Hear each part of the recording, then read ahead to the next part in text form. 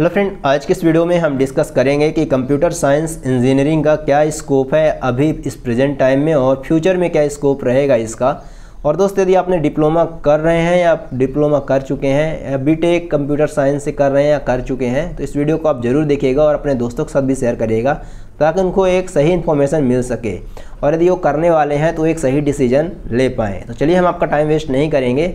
बताते हैं कि यदि आप कंप्यूटर साइंस से इंजीनियरिंग करते हैं तो इसका स्कोप अभी क्या है? आपको जॉब कि जॉब की अपॉर्चुनिटी क्या है? मतलब आप कर कर चुकते हो तो आपको करने के बाद तुरंत कैंपस प्लेसमेंट होगा या नहीं होगा? यदि आप कहीं भी किसी कंपनी में जाते हो तो आपको जॉब मिलेगी या नहीं मिलेगी? या फिर दोस्त, आपको जॉब मिलेगी तो किन लोकेशंस पर और कहाँ पर कैसे मिलेगी? और आप खुद के थ्रू क्या क्या कर सकते हैं? यदि आप कंप्यूटर साइंस इंजीनियरिंग करते हैं तो।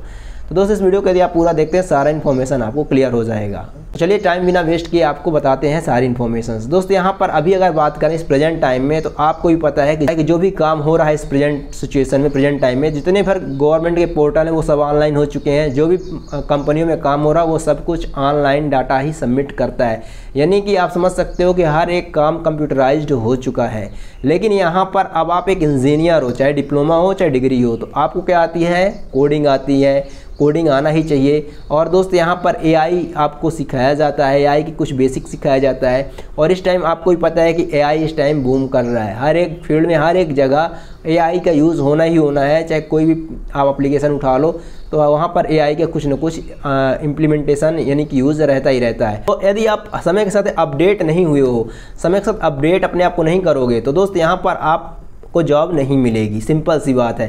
कंप्यूटर साइंस के जो भी इंजीनियर्स हैं, निकल रहे हैं और उनके पास कोई स्किल नहीं है, केवल सर्टिफिकेट है और वो केवल थ्योरेटिकली पढ़कर निकल रहे हैं तो उनको जॉब नहीं मिलेगी क्योंकि कोई भी कंपनी फ्रेशर को रखेगी तभी जब उसके पास बेसिकली कम से कम थोड़ी बहुत स्किल हो, उसको काम आता हो।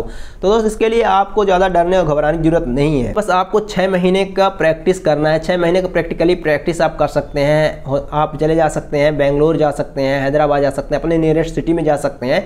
कोई भी आप स्किल बेस्ड कोर्स कर लीजिए, जहाँ पर प्रैक्टिकल चीज़ों को सिखाया जाता है इंप्लीमेंटेशन सिखाया जाता है, क्योंकि अब आपके पास डिग्री है, अब आप यहाँ पर छः महीने का कोर्स कर सकते हैं। बाकी वैसे तो अब मैं आपको रिकमेंड करूँगा कि पढ़ाई करते हुए ही आप यहाँ पर प्रैक्टिकली आप चीज़ों को इम्प्लीमेंटेशन उनका सीखिए, जैसे कि आपको लैंग्वेज सिखाई जाती है या सिखाई जाता है तो यहाँ पर प्रैक्टिकल उनका इम्प्लीमेंटेशन क्या है इंडस्ट्री में कैसे काम करना है, वो चीज़ आपको सीखना चाहिए, आपको पढ़ाई करते हुए ही, ताकि आपको जॉब लेने में कोई दिक्कत ना हो। जब आप नौकरी डॉट कॉम या लिंकड में अप्लाई करते हो तो यहाँ पर आपका यहाँ पे इंटरव्यू शेड्यूल तो हो जाएगा, क्योंकि आप already computer science engineering background से हो, ठीक है ना? क्योंकि आप ऑलरेडी कंप्यूटर साइंस के इंजीनियरिंग बैकग्राउंड से हो तो आपका इंटरव्यू शेड्यूल तो हो जाएगा बट इंटरव्यू आप निकाल नहीं पाओगे।